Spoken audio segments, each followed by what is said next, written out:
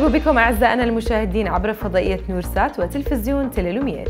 وبداية يسر مكتب فضائية نورسات في الأردن ممثلا بمديرته الدكتورة باسمة السمعان وفريق العمل. أن يتقدم بأسمى التهاني والتبريك لمقام صاحب الجلالة الملك عبد الله الثاني وولي عهده الأمين والأسرة الأردنية الواحدة.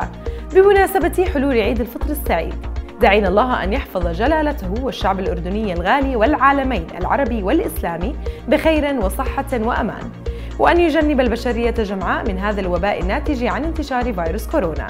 والبداية مع العناوين. البابا فرانسيس القدس مكان للصلاة والسلام وليس مكانا للعنف.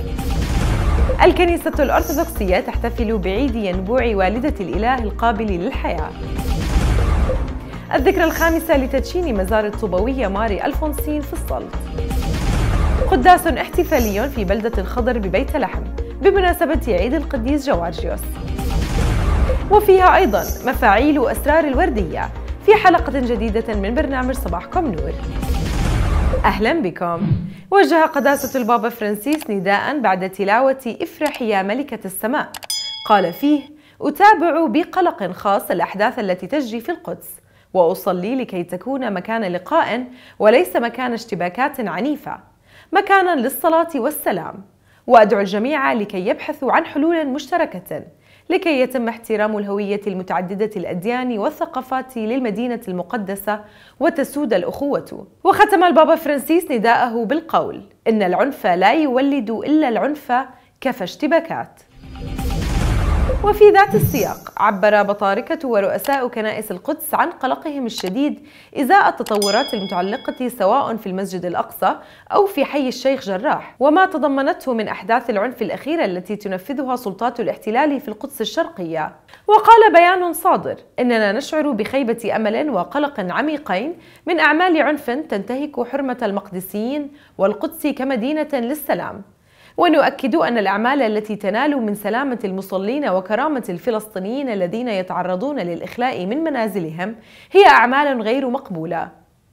وأوضح البيان أن الطابع الخاص للمدينة المقدسة في ظل الوضع الراهن يجبر جميع الأطراف على الحفاظ على الوضع الحساس في المدينة. ودعا البطاركة ورؤساء كنائس القدس المجتمع الدولي وجميع أصحاب النوايا الحسنة للتدخل لوقف هذه الأعمال الاستفزازية ومواصلة الصلاة من أجل سلام القدس.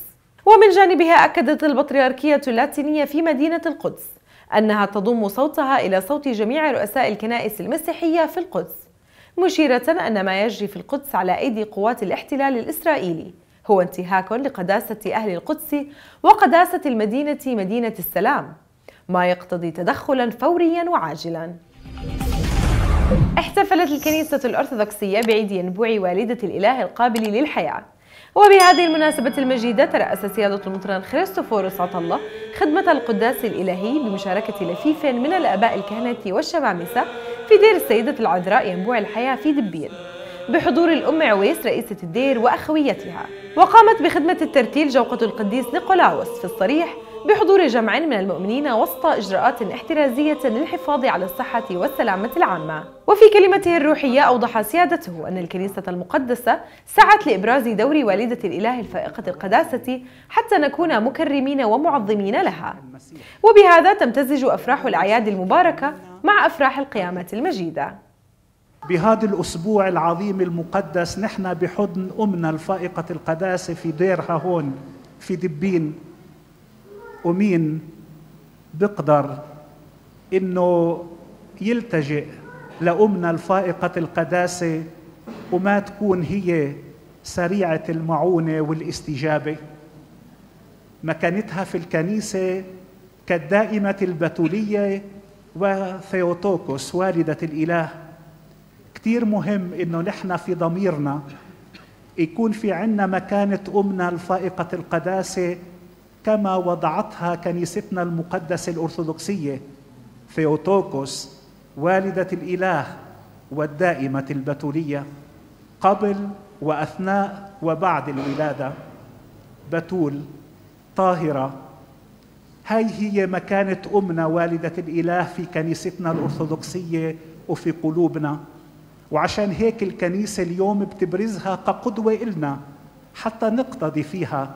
في زمن لتحطم كل القدوات في حياتنا. كنيستنا اليوم بتبرز لنا أمنا الفائقة القداسة حتى تكون قدوة لبناتنا وأولادنا في حياتنا هون. تصادف هذه الأيام الذكرى الخامسة لتدشين مزار الطوبوية ماري ألفونسين. المقام في كنيسة انتقال السيدة العذراء للاتين في السلط حيث خدمت في أول مدرسة في الأردن لمدارس البطريركية اللاتينية لمدة سنتين. وقد أقيم احتفال كبير بهذه المناسبة لتدشين المزار عام 2016 برعاية البطريرك فؤاد طوال وحضور شخصيات دينية ورسمية وعامة مسيحية وإسلامية وجموع غفيرة من المواطنين. وبهذه المناسبة المباركة نستذكر القديسة ألفونسين ورسالتها وخدمتها الصامتة. التي استمرت في السلط لمدة سنتين بين عامي 1887 ولغاية 1889 حيث قضتها بمحبة وإيمان ورجاء وتخليدا لما قدمته الأم ماري ألفونسين من خدمة للمدينة وكنيستها والتي تميزت بالحب والتواضع والبذل والعطاء.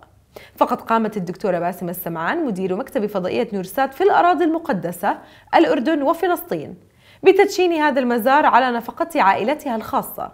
ويذكر أن مؤسسة رهبنة الوردية ماري ألفونسين أعلنت قديسة في السابع عشر من شهر أيار عام 2015 على يد قداسة البابا فرانسيس في ساحة القديس بطرس في الفاتيكان. وبهذه المناسبة نشكر الله تعالى ثم عائلة الدكتورة باسمة السمعان على ما قامت به من جهد إيماني لتدشين هذا المكان المقدس على ثرى الأردن المبارك. أصدر رئيس الوزراء الدكتور بشر الخصاونة بلاغا تم بموجبه تقليص ساعات الحظر الليلي اعتبارا من أول أيام عيد الفطر بحيث تصبح للأفراد اعتبارا من الساعة الحادية عشر مساء حتى الساعة السادسة صباحا لجميع أيام الأسبوع. كما تصبح للمنشآت اعتبارا من الساعة عاشرة ليلا وحتى الساعة السادسة صباحا في جميع أيام الأسبوع. باستثناء المنشآت التي يقرر رئيس الوزراء أن طبيعة عملها خلاف ذلك. ويأتي هذا البلاغ في إطار الإجراءات التخفيفية والتدريجية الآمنة التي تتخذها الحكومة وفقا لتطورات الوضع الوبائي وصولا إلى الهدف الاستراتيجي بالوصول إلى صيف آمن. تكون فيه معظم القطاعات والعجلة الاقتصادية عادت إلى طبيعتها بشكل كامل من خلال تطبيق البروتوكولات الصحية والالتزام بالمطاعيم وأشارت الحكومة إلى أن وصولنا للصيف الآمن يعني فتح معظم القطاعات مطلع تموز المقبل. وأيضا العودة إلى التعليم الوجاهي في المدارس والجامعات في شهر أيلول المقبل. أقيم في كنيسة مار جوارجس ببلدة الخضر التابعة لمحافظة بيت لحم. قداس احتفالي بمناسبة عيد القديس جوارجيوس بمشاركة عدد من الآباء الكهنة والشمامسة وحضور جمع كبير من المؤمنين من أبناء المنطقة. المزيد في رسالة مندوبتنا في الأراضي المقدسة مرلين الحدوى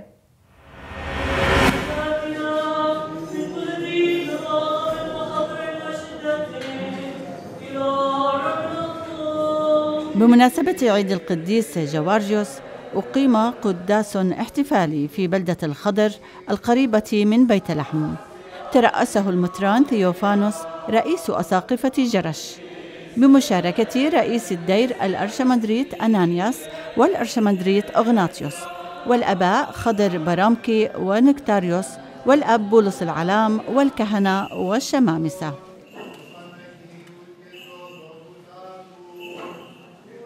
كما وأحيت جوقة الروم الأرثوذكس القداس وبحضور وتنظيم المجموعة الكشفية الأرثوذكسية العربية البيتجانية وحشد كبير من المؤمنين من أبناء المنطقة.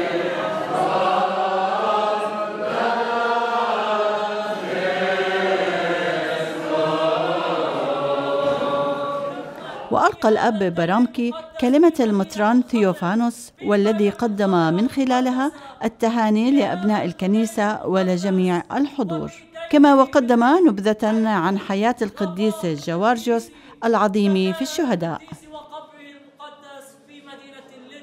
اليوم نحتفل في كنيسة القديس جوارجس العظيم في الشهداء في ديره العامر في قرية الخضر بالقرب من مدينة بيت لحم.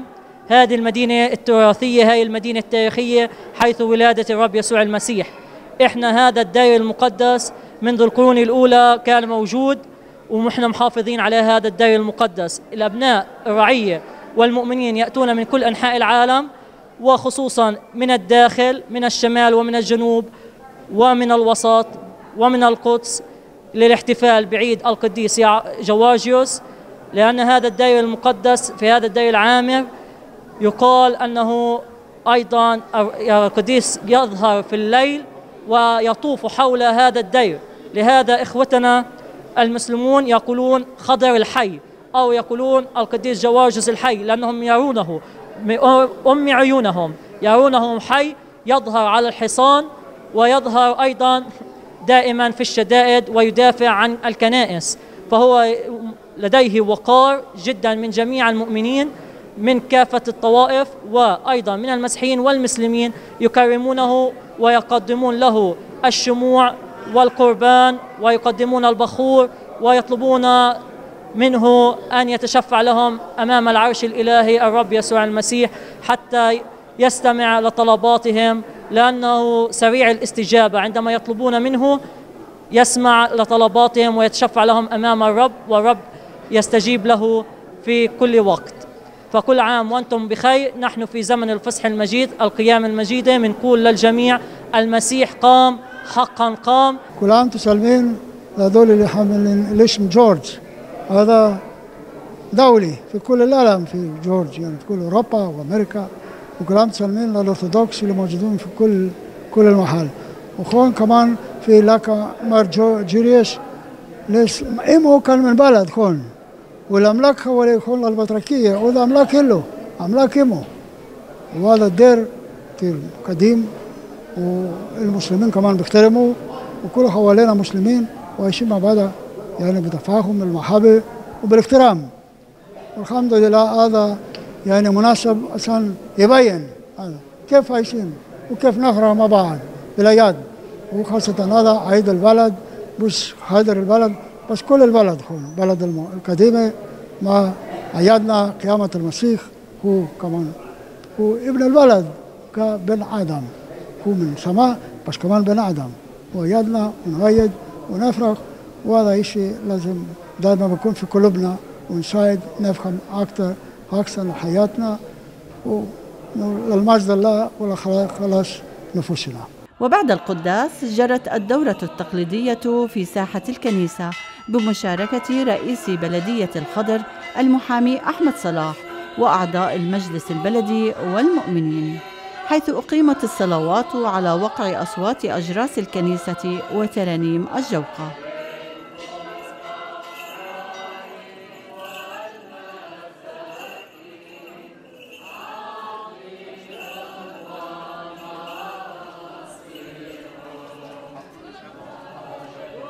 اليوم ككل عام إحنا بنحتفل بعيد القديس الخضر ببلدة الخضر في هذا الدير الموجود على أراضي بلدة الخضر. إيه، إحنا بنحتفل من كل عام بتاريخ 5 5 و6 5 في هذا العيد. هو عيد لجميع سكان المنطقة جميع لجميع أهالي محافظة بيت لحم ولأهالي الخضر بالتحديد. بغض النظر عن ديانتهم يعني إحنا كلنا أخوة وكلنا أهالي وأصدقاء. السنة الماضية لم يكن هناك أجواء لهذا العيد بسبب أوضاع جائحة كورونا التي كانت في البلاد. إيه، نحمد الله العام هذا العام تمكنا من إقامة هذا العيد وإقامة الصلاة في دير الخضر. إيه، نأمل أن يكون الأعياد القادمة نأمل أن تكون السلام يعم بلادنا ويعم بلاد دولة فلسطين بأكمل بأكملها. الحضور جيد نوعا ما هذا العام بغض النظر عن الظروف التي الصعبة التي تمر بنا بسبب جائحة كورونا وبسبب تضييق الاحتلال علينا أيضا. الالتزام كمان الالتزام من المواطنين التزام جيد والتزام ممتاز نوعا ما. مجموعة جميلة لقاء مرتب جميل يضم آه، إخواننا المسلمين والمسيحيين في هذا اللقاء. نقول للجميع أهلا وسهلا بكم وكل عام وأنتم بألف خير ينعاد على الجميع والكل بالصحة والسلامة والعافية. ونتمنى السلامة من هذا الوباء الذي يجوب منطقتنا إن شاء الله باسم مارجريوس يختفي هذا المرض نهائيا. أهلا وسهلا فيكم. وبعد الانتهاء توجه الجميع إلى قاعة الدير لتقديم التهاني بهذه المناسبة. والجدير بالذكر أن هذه الاحتفالية التي استمرت على مدار يومين فهي تشكل مشهد التآخي الحقيقي بين أبناء الشعب الواحد. من خلال مشاركة الجميع دون تمييز. لنورسات مارلين الحدوى من كنيسة القديس جوارجيوس بلدة الخضر. وبذات المناسبة احتفلت الكنيسة الأرثوذكسية بعيد القديس جوارجيوس اللابس الظفر حيث ترأس قدس الإرشمندريت يورينيميوس الرئيس الروحي لمدينة الفحيص خدمة القداس الإلهي بمشاركة قدس الإرشمندريت خريستوفوروس حداد ولفيف من الآباء الكهنة في مزار القديس جوارجيوس الخضر في بلدة ماحص بحضور جمع من المؤمنين. وسط إجراءات احترازية ووقائية تضمن التباعد الاجتماعي والسلامة العامة. وفي كنيسة مار يوسف للاتين بجبل عمان أقيم قداس احتفالي بمناسبة عيد الرحمة الإلهية.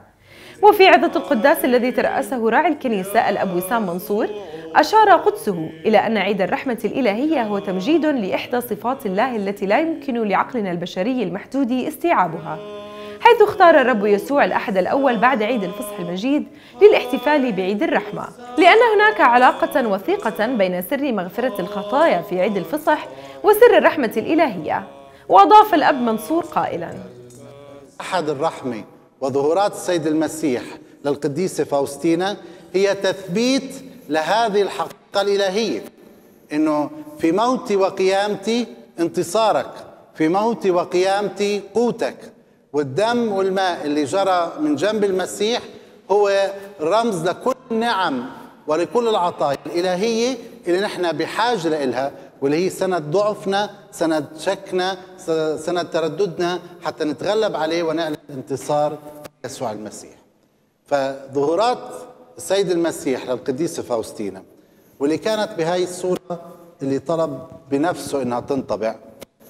وظهر من قلبه ومن جنبه المطعون شعاعين الأبيض والأحمر.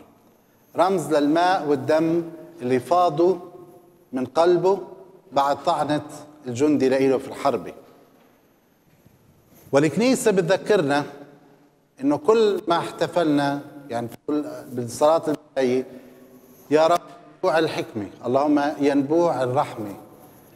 ساعدنا إنه ندرك دائما في أي ماء غسلتنا وبأي دم فدتنا فالمسيح من نفس الرموز ومن نفس المعاني اللي تفجرت على الصليب أراد إنه تبقى هاي الرحمة وهاي العلامات هي علامات انتصار إلى الأبد. احتفلت الكنيسة الأرثوذكسية يوم التاسع من شهر أيار الجاري بأحد توم الرسول والذي يقع ليتورجيا في الأحد الأول بعد الفصح المجيد. وبهذه المناسبة البهية ترأس سيادة المطران خريستوفورس عطلة خدمة القداس الإلهي بمشاركة لفيف من الآباء الكهنة والشمامسة في كنيسة الصعود الإلهي في خلدة بعمان بحضور جمع من المؤمنين. وفي عظة القداس قال سيادته علينا أن نطلب الله ليحل في وسطنا وينزع عنا كل خوف وقلق واضطراب. ونطلب منه أيضا أن يقوي إيماننا وينيرنا بالروح القدس وأن نتعامل مع التحديات التي تواجهنا في هذا الزمن بالثقة بالرب. وأضاف سيادته المسيح قام.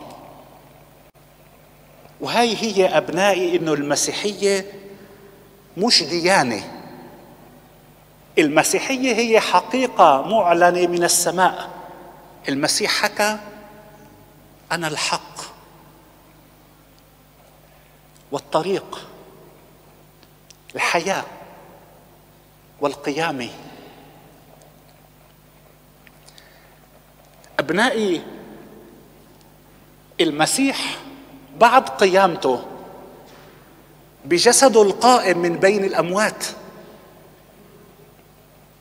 حافظ على علامات المسامير في يديه وفي رجليه وعلى علامة الحرب في جنبه. وهيك نحن في الملكوت السماوي رح نشوف المسيح ورح نعرفه. إلهنا المتجسد. وعشان هيك أراهم يديه ورجليه. فرح التلاميذ. قديش مهم أبنائي نبحث نحن في هذا الزمن اللي منعيشه للسلام الحقيقي الآتي من الله. بسمع من جهات عديدة وبكل أسف بتجينا كمان بعض أفكار وبعض رياضات وبعض أمور تعاليم غريبة عنا حتى من ديانات أسيوية. اللي مجتمعنا الأردني بيتأثر فيها. وعمالي بسمع البعض بي بي بيعمل رياضات هدوء وبعض بيحاول يعمل ضبط لبعض أمور فيه من خلال رياضات متنوعة. وإلى آخره من الأمور اللي عمالها بتنتشر بطريقة خطيرة في مجتمعنا لأنه المجتمع الجاهل روحيا عماله بعطيها قيمة. انتبهوا أبنائي. أي إشي ما في المسيح بيكون فيه ضرر في قوة شيطانية بيكون بعيد عن المسيح. انتبهوا. قال مدير عام هيئة تنشيط السياحة الدكتور عبد الرزاق عربيات إن مؤشرات عودة الحركة السياحية للمملكة خلال الفترة المقبلة باتت قوية وأضاف أن خطة عمل الهيئة حاليا تتضمن عدة محاور منها تنشيط السياحة المحلية وعودة سياحة دول الجوار ليتم استقطابهم لزيارة المملكة مشيرا إلى وجود مفاوضات نهائية مع كبرى مكاتب السياحة العالمية لاستقطاب مزيد من السياح وبأعداد ضخمة للمملكة متوقعا فتح المزيد من القطاعات السياحية ومنح المزيد من الإجراءات التحفيزية لهذا القطاع بعد عطلة عيد الفطر السعيد. وبين عربيات أن وزارة السياحة والأثار وهيئة تنشيط السياحة ستعملان على تنشيط السياحة المحلية من خلال برنامج أردننا جنة والذي أعلن وزير السياحة والآثار عن إطلاقه مؤخرا حيث سيكون داعما للسياحة الداخلية. كنيسة القديس شربل للموارنة في مرج الحمام بعمان تعد من أجمل الكنائس في المملكة نظرا لموقعها الخلاب وسط غابات الصنوبر والأشجار الحرجية المحيطة بها في المنطقة. عدست نورسات وضمن سلسلة حلقات كنيستي. زارت الكنيسة وعدت التقرير التالي. بين تلك الجبال والغابات الحرجية تقع كنيسة للموارنة على أرض في منطقة مرج الحمام بعمان تحمل اسم القديس شربل الذي عاش في بلادنا العربية وذاع صيته في أرجاء المعمورة. نتوقف نحن وإياكم اليوم لنسرد لكم محطات تاريخية في نشأة هذه الكنيسة التي تقشعر لها الأبدان حينما تدخلها. كنيسة القديس شربل تعتبر أول كنيسة مارونية في الأردن، ففي عام 1998 منح جلالة المغفور له الملك الحسين بن طلال أرضا للبطريركية المارونية ليشيدوا عليها الكنيسة. يا كنيسة يا مجيد أنت هي بيت الله فيك نلتقي الإله ونستمد منه الحياة وفي نفس العام بارك غبطة البطريرك الكاردينال مار نصر الله صفير أعمال البناء ووضع الأساسات اللازمة. وفي التاسع من تشرين الأول عام 2003 دشن غبطته القسم الأول من المركز الماروني برعاية كريمة من جلالة الملك عبد الله بن الحسين الثاني. وفي عام 2005 وضع غبطة البطريرك صفير حجر الأساس ليتم العمل على بناء الكنيسة التي أشرف عليها بكل محبة الخورسقف آنذاك جورج شيحان. يبلغ ارتفاع الكنيسة ما يقارب 15 مترا، وعرضها ما يقارب 20 مترا. يميز الكنيسة من الداخل الحنية التي رسم عليها أيقونة القديس شربل يعلوها رب المجد يسوع.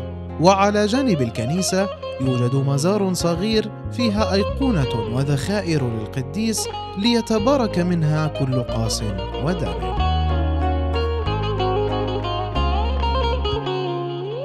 في جوار الكنيسة مرافق متعددة بنيت حديثا حدثنا عنها كاهن الرعية الأب سامر زكنون وأشار أيضا إلى الفعاليات والأنشطة بالرعية نحن بالإضافة لمبنى الكنيسة اللي هو المبنى الحالي الموجود. في عندنا المرافق الأساسية اللي هي بيت الكاهن البيت الكاهن المؤلف من من طابقين. الطابق الأول اللي هو مكاتب مكتب الرعية ومكتب صالون الاجتماعات وصالون صغير. بالإضافة للصالون الكبير الصالون الرسمي اللي هو جديد استحدث. وأيضا الصالون الببليك العام اللي بحبوا أنه يقعدوا فيه العالم بشكل هيك بسيط. وعندنا بالمرافق الموجودة هون بالكنيسة. عندنا الطابق التحتاني اللي تحول للفوية اللي كان بسنة قبل ثلاث سنين استقبلنا فيهم إخوتنا العراقية. وعودنا جددنا هالمكان هذا وصرنا نستقبل فيه الحجاج اللي بيجوا من كل الأماكن. أكيد للفويه في في المطبخ في قاعة الأكل في اللوبي للاجتماعات للقاءات. وعندنا المكان القاعة الكبيرة يلي كانت هي بالبداية قبل ما تدشن الكنيسة كانت هي الكنيسة. كنا هناك نقدس ونقيم الاحتفالات فيها. بالإضافة كمان بالمبنى ذاته في عنا اقتطعنا جزء منه وأسسنا حضانة حضانة القديسة أكوالينا. بالإضافة عنا البستان بستان مار شربل أو حديقة الدير يلي بتستقبل كل الناس اللي بحبوا يجوا يقعدوا ياخذوا متنفس مع عائلاتهم يشووا يتسلوا يقضوا نهارهم. أيضا عندنا كمان المكتبة يلي المكتبة هي أنا بسميها كمان بما إنه الرعية نحن هون رعية مار شربل هي مركزية مركزية بالعمان لأن بتحضن جهتين كثير صعب إنه بين قوسين يتلاقوا ولكن بيلتقوا بمار شربل. اللي هن اللي جايين من فلسطين على الأردن ما قادرين يروحوا على لبنان بيجوا لهون واللي جايين من لبنان على الأردن اللي ما بيقدروا يفوتوا على فلسطين أو على الأراضي المقدسة. الخشب اللي موجود هون اللي بتشوفوه الباب الكبير والضخم هو كله صنع في لبنان. المذبح معمول من من صخر صخر أردني منحوت بشكل طولي. في يمكن مشروع إن شاء الله لقدام إنه ينعمل شيء مميز للأردن وهو من فسيفساء. ينعمل العشاء السري من فسيفساء. وإن شاء الله بيكون هالشيء جاهز. أكيد بالرعية في عنا مجلس وقف اللي هو يعنى بكل شؤون الأمور الكنيسة أملاك الكنيسة وكل ما يخص الكنيسة. والإضافة لأنه عندنا جوقة كمان جوقة رائعة جداً بتخدم الأداديس وبتخدم الاحتفالات وبتخدم كل ما يتعلق بالأكاليل والعمادات. بتعاليمك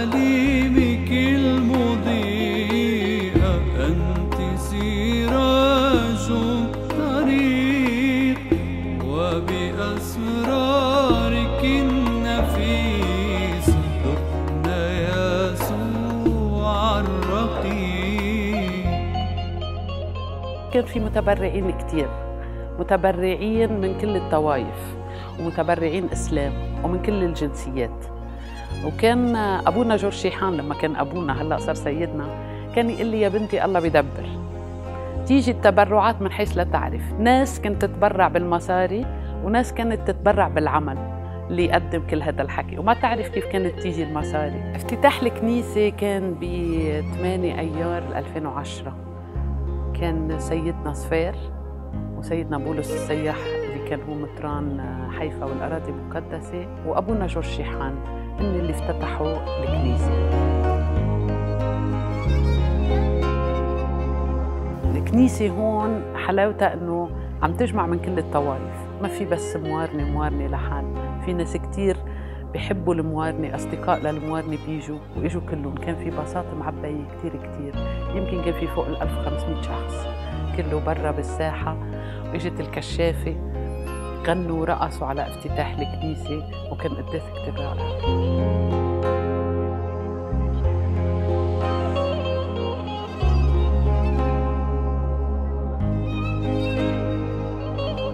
لما اجى مونسنيور جهاد نصيف كان عم يعمل هون بيت مار شربل للرياضات الروحية فكان تمثال مار شربل محطوط قدام البيت بطريقة إنه رح يخرب رح يروح منظره فنقله قدام شجرة الزيتون.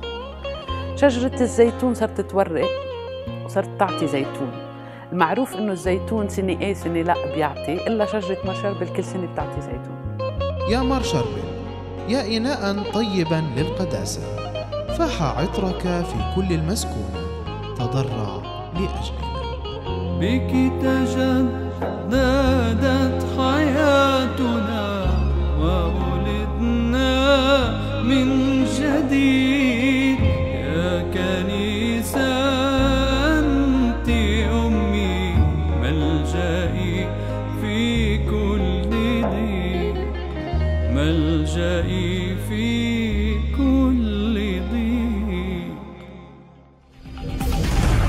بمناسبة بداية الشهر المريمي خصص برنامج صباحكم نور الذي تعده وتقدمه الدكتورة باسمة السمعان بمرافقة روحية من الأب جور شرايحة. حلقة جديدة بعنوان مفاعيل أسرار الوردية. حيث مع انطلاق الشهر المريمي تكثر التقويات المريمية وأهمها صلاة المسبحة الوردية. والتي تشمل أسرارها ركنا أساسيا للتأمل في الإنجيل المقدس. فقد أغنى ضيوف الحلقة الموضوع من عدة جوانب. إذ تطرق الآباء الأجلاء لممارسة تلاوة المسبحة الوردية وكذلك الأخوات الراهبات الفاضلات. فإلى هناك. أبونا تحدثنا وأنت وأنت من يعني اللي بعرفه أنك أنت مخلص لمريم العذراء وصلاة المسبح الوردية مريم لمريم العذراء. وأيضا تتكلم بكل فخر عن مريم العذراء إن شاء الله. فتحكينا عن روحانية المسبح شاء الله. الشهر الوردي الشهر المريمي وما وأصول المسبحة الوردية إن شاء الله على كل حال فعلا أنا بالنسبة لي اسعد الأوقات عندما أتكلم عن سيدة مريم العذراء ومع سيدة مريم العذراء. نعم. و آه، أكثر شيء بكرم سيدتنا مريم العذراء هو صلاة السلام عليك يا مريم اللي هي أهم صلاة بعد صلاة الأبانة وطبعا صلاة السلام وبالأخص صلاة المسبحة الوردية آه، حديث اليوم راح يكون آه، في نقطتين النقطة الأولى مصدر الوردية وتنسيقها والنقطة الثانية روحانية الوردية. نعم. النقطة الأولى عن مصدر كيف بدأت المسبحة وكيف وصلنا إلى في وضعها الحالي. كان المسيحيون في القرون الأولى يعدون صلواتهم وركعاتهم وسائر أعمالهم التقوية فيستعملون لذلك إحدى الطريقتين. إما يضعون كمية معروفة من الحجارة الصغيرة في جيبهم وينقلونها بالتتابع إلى الجيب الآخر. وإما يمسكون حبلا معقدا بعقد معدودة فيعدون الصلوات مع العقد. من جهة أخرى لما تأسست الأديرة والرهبانات من القرن الرابع وصاعدا كان الرهبان يصلون الفرض مشتركين وكان هذا الفرض مقصورا على تلاوة الصلاة الربية والسلام الملائكي وترتيل المزامير البالغ عددها 150 مزمور. وفي مطلع القرن الثالث عشر أسس القديس دومينيك عبد الأحد رهبنته المعروفة باسم الدومينيكان وكان من المكرمين للعذراء مريم وكان عميق التفكير واسع الاطلاع. فأخذ هذه الحبل المستعملة منذ مئة سنة تقريبا ونسقها وأضاف إليه بعض التأملات معتمدا على الأسرار الإلهية الثلاثة وعلى مشاركة العذراء في سر الخلاص البشري. النقطة الثانية روحانية الوردية. لقد سمى قداسة البابا بيوس الثاني عشر الوردية خلاصة الإنجيل كله لأنها تضم تاريخ الخلاص في الله من تجسد الكلمة إلى الصعود والعنصرة والانتقال كما أن المسبحة تبين أيضا دور العذراء في مسيرة الخلاص. يقول البابا يوحنا بولس الثاني تصلنا بالمسيح من خلال قلب مريم أمه مريم ويناشدنا قائلا إني أشجعكم على صلاة الوردية. فينغماس في أسرار المسيح التجسد والألام والفصح. وهي تقدم لنا في مريم المثال الأكمل لتقبل أقوال المسيح وأعماله الخلاصية كما ولحفظها والعيش بموجبها. الوردية والتأمل. صلاة الوردية بدون تأمل في السر المذكور مكان ظروف أبعاد خلاصية جسم بلا روح. على سيدة مريم العذراء التي يقول عنها الإنجيل المقدس كانت تتأمل في قلبها في أسرار والكلمات الرب وألا نكون كالوثنيين الذين يتوهمون أنهم لكثرة كلامهم يستجاب لهم آمين. سر فاتن إحنا اتصلنا اليوم نحكي عن روحانية صلاة الوردية وأنتم رهبنة الوردية المقدسة فتخبرينا نعم. عن هذه الصلاة وعن هذه الروحانية نعم. روحانية الرهبنة تفضلي مثل ما تفضلتي حضرتك قبل بانطلاق الشهر المريمي آه، تكثر التقويات المريمية وأهمها صلاة المسبحة الوردية. فبالحقيقة صلاة مسبحة الوردية يا لها من صلاة بسيطة يتلوها الجميع ويرددها بمختلف مراحل العمر من الطفولة إلى الشيخوخة. وأيضا يا لها من صلاة فاعلة تؤثر في النفس في نفس كل من يصليها ويتأمل بأسرارها فتقوده نحو اكتساب الفضائل ورفض الرذائل. فالمسبحة تحرر الإنسان من قيد الخطيئة. وبالحقيقة عندما نلاحظ المؤمنين وهم يصلون الوردية لا نعلم ما يدور في قلب وعقل كل مؤمن. لكن دائما نلحظ من خلال ركوعهم من خلال نبرة صوتهم ومن خلال عيونهم المنحنية خشوعا والمرتفعة نحو السماء راجية فيض نعم السماء عليها. نلاحظ أنهم يقدمون أمام أمنا مريم العذراء جميع احتياجاتهم صعوباتهم وخاصة في أيامنا هذه وما نواجهه من مخاوف وآلام وصعوبات. وبالحقيقة الجميع كل من يتوجه نحو مريم سيلتمس شفاعتها ويلمس استجابتها في كل الأمور التي تخص خيره وخير من يصلي لأجلهم. سر سنة يعني هيك كيف تجدي المسبح الوردية كراهبة أنت؟ شو هالقوة أو هالمفاعيل أو النعم اللي بتاخدوها من المسبح الوردية؟ صحيح صحيح. أنا بالنسبة لي راح أشارككم مشاركة شخصية وراح أشارككم بالرهبنة تبعتنا كيف إحنا بنعيش هذا الشيء نعم. فبالنسبة لي أنا زي ما أنت قلتي دكتورة باسمة أمي نفس الشيء كانت دائما ماسكة المسبحة بإيدها. وبتردد الصلاة المسبحة باستمرار وكانت نعم. تفتح دائما النور سات تتابع المسبحة الوردية معهم نعم. فمن طفولتي وأنا عايشة هذا الشيء نعم. وبتذكر بدعوتي كمان من ضمن العلامات اللي ربنا بعثها لإلي هي حلم من حلمته إنه يسوع بيقول لنا لمجموعة إحنا تعالوا اتبعوني نعم. وفعلا نتبع يسوع هو بيمشي وإحنا بنمشي وراه وبعد ما يختفي يسوع بلاقي هيك للعذراء بروح بصلي وبركع قدامه. نعم. ولما دخلت الدير الرهبنة حس يعني سبحان الله دخلت برهبنة هي بتحمل اسم آه، مرسلات مريم فرانسيسكان مرسلات مريم. فأنا هذا الشيء خلاني أعيش يعني دعوة فعلا خاصة ربنا دعاني إياها من طفولتي لكملت فيها لحتى للآن بعيش هذا الشيء مع مريم العذراء. نحن الرهبنة تبعتنا بنعيش آه، تقوية مريم العذراء. بس كمان بنفس الوقت بنحمل الكاريزما بنحمل روحانية مريم العذراء. روحانية مريمية. يعني نعم. مش بس تقوية كمان تأملية بكل شيء بتعيشه مريم العذراء. نعم. ذكرتوا أنتم إنه المسبحه الوردية بدون تأملات آه، في شيء غلط ناقص مضبوط. فبدي أكد هذا الشيء. بالسر من أسرار الفرح السر الأول لما الملاك اجى بشر مريم العذراء قالها إنك رح تكوني أم الله. هي تأكدت من صوت الله هذا وميزته منيح. وقالت ها أنا أمة للرب. نحن بالرهبنه بنعيش هاي النقطة. بنعيش ها أنا أمة للرب تقدمة الذات على مثال مريم العذراء. إلى هنا مشاهدينا وصلنا إلى نهاية نشرتنا. وقبل الختام هذا تذكير بأبرز ما جاء فيها. بطاركة ورؤساء كنائس القدس يعبرون عن قلقهم الشديد إزاء التطورات الأخيرة في القدس. الكنيسة الأرثوذكسية تحتفل بعيد ينبوع والدة الإله القابل للحياة. الذكرى الخامسة لتدشين مزار الطوباوية ماري ألفونسين في السلط تقليص ساعات الحظر الليلي في الأردن اعتبارا من أول أيام عيد الفطر.